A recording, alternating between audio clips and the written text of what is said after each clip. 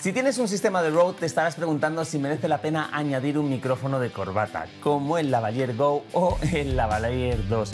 ¿Podrás conseguir un sonido más profesional utilizando alguno de estos dos micrófonos? Bueno, eso es lo que vamos a ver en este vídeo. No solo la diferencia entre el Lavalier Go y el Lavalier 2, y te aseguro que tienen diferencias importantes, sino que también lo vamos a comparar con los micrófonos que vienen incorporados en los transmisores. Y no solo eso, además te voy a mostrar el sonido que puedes conseguir con estos micrófonos si editas el audio. En realidad, así es como suena el Lavalier Go sin editar. Y esto es lo que puedes conseguir cuando haces postproducción con estos micrófonos. ¡Empezamos! En realidad, así es como suena el Lavalier 2 sin editar. Y esto es lo que puedes conseguir cuando haces postproducción con estos micrófonos. ¡Empezamos! Si dedicas un tiempo a editar el audio, la diferencia puede ser abismal. No solo se trata de ecualizarlo, sino también de normalizarlo y tratar de conseguir un gran sonido independientemente del dispositivo en el que se reproduzca tu vídeo. Es por eso que he creado una serie de presets para añadirlos a mis vídeos. Tengo uno por micrófono y además he incluido presets para voz de hombre y para voz de mujer, por lo que con un clic puedes conseguir un sonido alucinante. Si te interesa, están disponibles en mi página web aprendefotoyvideo.com y con la compra de los presets te ofrezco además un tutorial con los puntos más importantes que tienes que tener en cuenta a la hora de utilizar este tipo de micrófonos para conseguir un sonido de gran calidad. Te dejo el link en la descripción. El principal uso de un micrófono como el Lavalier Go o el Lavalier 2 de Rode es en las entrevistas o cuando grabes a alguien y no quieres que se vea la petaca, porque admitámoslo que son un poco antiestéticas un micrófono lavalier queda disimulado y, por qué no decirlo, pues incluso más profesional. Pero es verdad que un micrófono de corbata a la vista da un aire más de entrevista formal o de telediario. Si grabas documentales o escenas narrativas, hay uno de los dos que destaca sobre el otro con diferencia. Pero antes de contarte cuál gana y por qué, déjame mostrarte las diferencias que hay entre estos dos micrófonos. Lo primero que llama la atención es el tamaño de la cápsula. El Lavalier 2 tiene una cápsula más grande y Rode dice que ofrece más calidad de sonido, una calidad superior. Pero aunque sea un poquito más grande tiene un diseño muy plano, lo que hace que quede muy bien y disimulado a la hora de colocarlo en una persona. En este caso es este. Otros micrófonos como este que tengo de Sennheiser son más grandes y un poco menos estético. Cuando le pones el antiviento, la verdad pues que se nota mucho más que lo llevas puestos. Fíjate en la comparación entre el Go, el 2 o este de Sennheiser. Es muchísimo más patente, vamos, que tienes ahí un micrófono puesto. Otra de las cosas que, que está muy bien es que la pinza que tiene con el Lavalier 2 es muy discreta y es muy fácil de colocar. Luego te mostraré un plano detalle. Por otro lado, el Lavalier Go tiene un diseño más convencional con una cápsula mirando hacia arriba, es decir, por aquí es donde entra el sonido. Y la pinza es un poquito menos estética que la de la Valier 2, pero es un poco más segura. Lo único que sí es verdad es que la vuelta que le das al cable con el Lavalier 2 es más segura y la vuelta del cable con la pinza que viene con el Lavalier Go es un poquito más fácil que se suelte. O sea que en cuanto a pinzas gana la Lavalier 2 y en cuanto a diseño y estética, pues bueno, ahí están. El Lavalier Go es un poquito más pequeñito y el 2 es un poquito más ancho, pero al ser plano no queda nada mal. También es verdad que me las he puesto con las espumitas. Uy, si quitas las dos espumas, fíjate cómo queda mucho más disimulado que tienes un micrófono lavalier puesto. Lo único que es verdad que estas espumas antiviento, pues bueno, vienen bien para pintar cualquier posible brisa o un poquito de viento que haga. Si es en interior no es tampoco muy relevante, pero al hacer entrevistas en exterior pues sí que es interesante tener puestos estos antivientos. Un detalle que puede parecer tonto pero para mí ha resultado ser bastante útil es la forma del cable del lavalier 2 que es plano, lo que hace que sea mucho más fácil colocarlo en la pinza y que al enrollarlo no se creen esas vueltas que pueden romper el cable por dentro, por lo que creo que a la larga puede durar más el lavalier 2 que el lavalier 1 si no tienes cuidado al enrollar el Por otro lado, las dos cápsulas son omnidireccionales, es decir, que cogen el sonido que viene de todas las direcciones. Tienen una respuesta de frecuencias bastante plana y un ruido también relativamente bajo. De hecho, he notado yo que meten más ruido los amplificadores de la R6 que el que meten los propios micrófonos.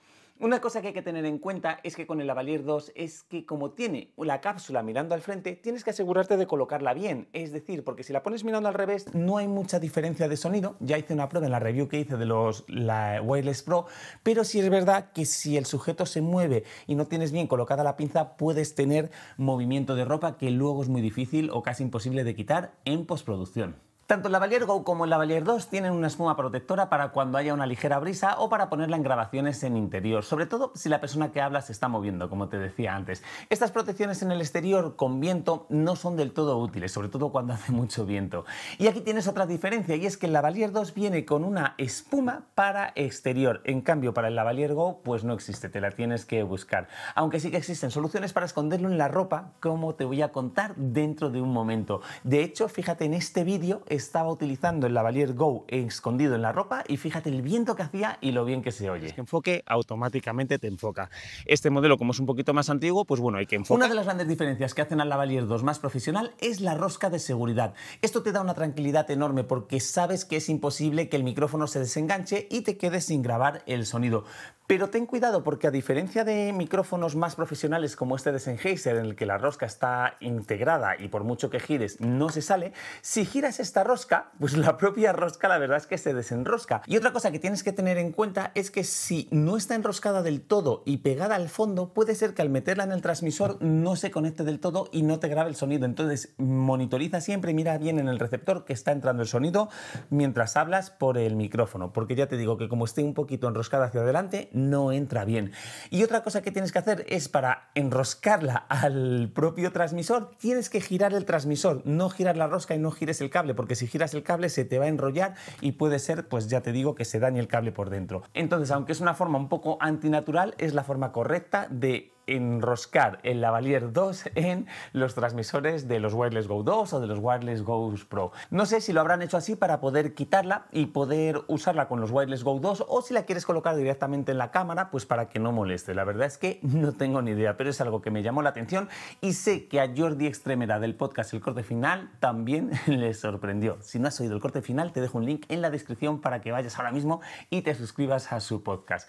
Bueno, a la vista cualquiera de los dos queda bien es cierto que el Lavalier 2 es un poquito más grande, pero tampoco es una gran diferencia, sobre todo si quitamos las espumitas como has visto antes. Ahora, donde más destaca el Lavalier Go es a la hora de esconderlo en el cuerpo, porque es mucho más fácil de esconder en la ropa, ya sea con las, pegatinas de ricote o usando los Invisibilab de Rode. Y así es como yo lo suelo usar la mayoría de las veces.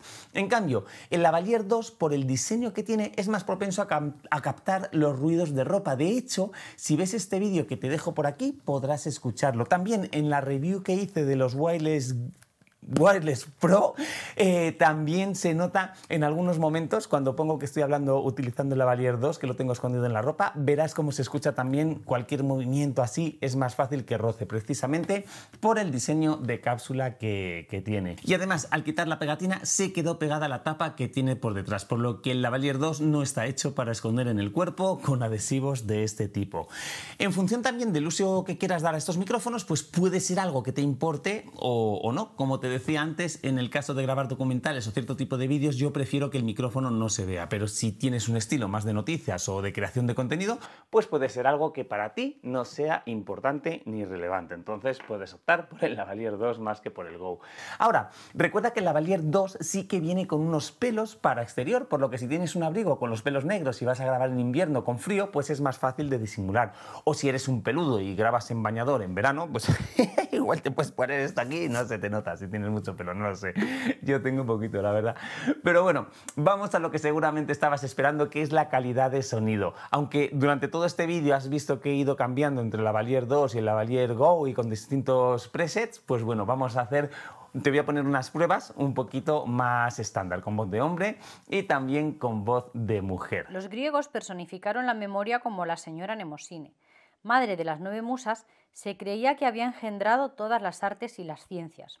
Es válido pensar que la memoria es la habilidad mental más antigua de la que derivan todas las demás, porque si no fuésemos capaces de recordar, no podríamos seguir las reglas que hacen posibles otras operaciones mentales.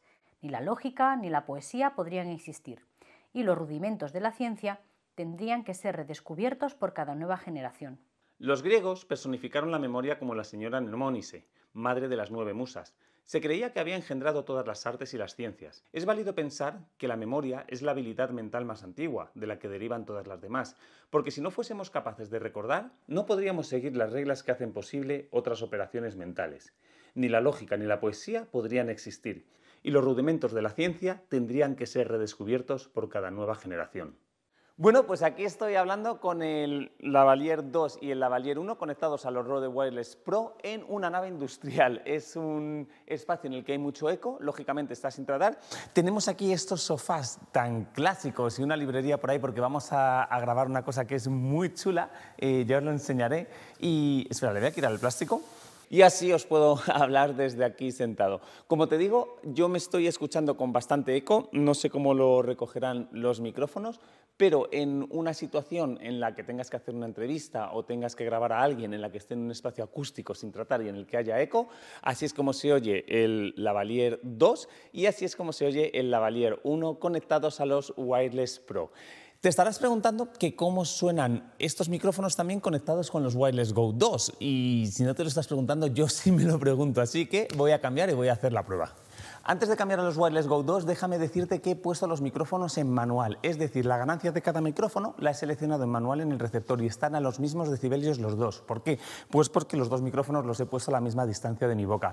Y luego también la ganancia de salida del receptor a la cámara está puesta en manual y a un ajuste de picómetro, pues para tener un, un sonido bueno y de calidad. Ahora sí voy a poner los Wireless Go 2 y vamos a ver cómo se oye en esta nave industrial con tanto eco. Bueno, pues aquí te estoy hablando otra vez en la misma situación. Así es como se me oye con el Lavalier 2 y así es como se me oye con el Lavalier 1. Estoy hablando en, el mismo espacio, en una nave industrial donde hay bastante eco, hay algún ruido en el techo porque hay palomas que están andando, no sé si se oirá o no. Entonces, bueno, para que veas si hay diferencia entre utilizar el Wireless Pro o el Wireless Go 2 con estos micrófonos de corbata.